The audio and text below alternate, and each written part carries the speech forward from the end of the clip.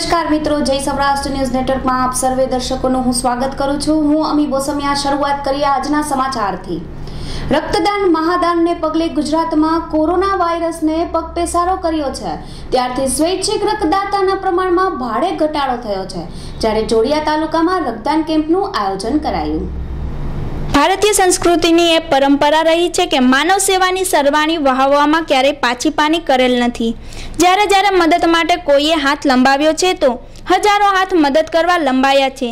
Thalassemia તેમજ ઘણા રોગોમાં લોહીની અવારનવાર જરૂર પડતી હોય છે. ત્યારે આવા સમયે રક્તદાતાઓની નિસ્વાર્થ સેવાઓને વંદન કરવાનું મન થાય છે.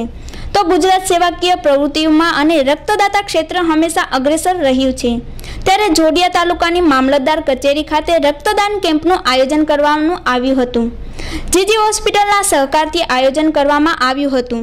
કોરોના મહામારીના આ સમયગાળા દરમિયાન થેલેસીમાના બાળકો અને અન્ય જરૂરિયાતમંદ દર્દીઓને રક્ત સરળતાથી મળી રહે, તેથી આ કેમ્પનું આયોજન કરવામાં આવ્યું હતું.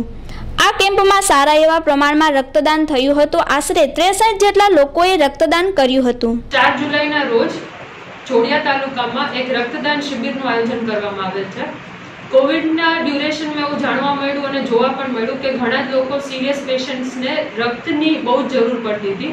એવા સમયમાં જો આપણે આપણા જ તાલુકામાં એક રક્તદાન શિબિર કરીને પોતાનું કરી શકીએ, તો બહુ સારું કહેવાય એવો મને વિચાર આવ્યો. અને જેથી મને મારા બધા જ સ્ટાફ મેમ્બર્સના અતિશય સહયોગથી અને સપોર્ટથી અમે આજે આને કરી શક્યા છીએ. હું આશા રાખું છું કે વધારે ને વધારે લોકો આની અંદર ભાગ લે અને આપણા તાલુકાના લોકોને અમે બ્લડ પ્રોવાઈડ કરી શકીએ. હર્ષલ ખંડેડિયા જય સૌરાષ્ટ્ર ન્યૂઝ, જામનગર.